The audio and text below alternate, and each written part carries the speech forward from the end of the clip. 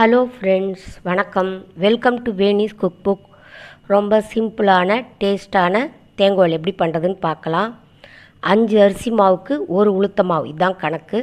நான் ரெண்டரை டம்ளர் அரிசி மாவு போட்டிருக்கேன். அரை டம்ளர் உளுத்த மாவு. உளுத்தம் பருப்பு நல்லா செவக்க வறுத்து மிஷின்லேயோ மிக்சிலையோ நல்லா அரைச்சிட்டு சலித்து எடுத்துட்டிங்கன்னா யூஸ் பண்ண ரெடி ஆகிடும் உப்பு பெருங்காய தண்ணி ஜீரகம் ஒரு ஸ்பூன். பெருங்காயத்தை கட்டி பெருங்காயம் போட்டால் நல்லா வாசனையாக இருக்கும். தண்ணி விட்டு கரைச்சி பொடியோட அது பெஸ்ட்டு வெண்ணெய் ஒரு ஸ்பூன். எல்லாத்தையும் போட்டு கையால் கொஞ்சம் பிசிறிக்கோங்க.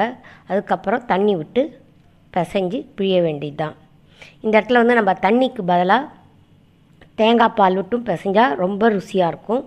ஒரு முடி தேங்காயை வெது வெதுப்பான தண்ணியில் மிக்சியில் நல்லா அரைச்சி வடிகட்டி பிழிஞ்சு பால் எடுத்து தண்ணிக்கு பதிலாக சேர்த்து பிசைஞ்சிங்கன்னா ரொம்ப ருசியாக இருக்கும். தேங்காய் பால் முறுக்கு. இந்த தேங்காய் வந்து பண்ணுறது ரொம்ப ஈஸி பிகினர்ஸ்லாம் தாராளமாக ஃபஸ்ட் எடுத்தோடனே கற்றுக்குறாங்கன்னா தேங்கோடல் தேங்காய் பர்பி இதெல்லாம் ஈஸியாக பண்ணக்கூடிய பட்சணங்கள்.